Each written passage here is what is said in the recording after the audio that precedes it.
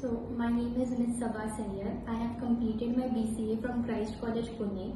I have recently, six months ago, have joined the QSpider and this was a very great learning for me where I got the opportunity to upskill my talent. And I would really like to thank Ekta ma'am and Isha ma'am where they have supported me and guided me throughout my journey. And all my concepts related all SQL, core Java and everything were totally cleared by them. And it was a very good experience. And I would recommend other people to join QSpider and contribute here and have good investment here.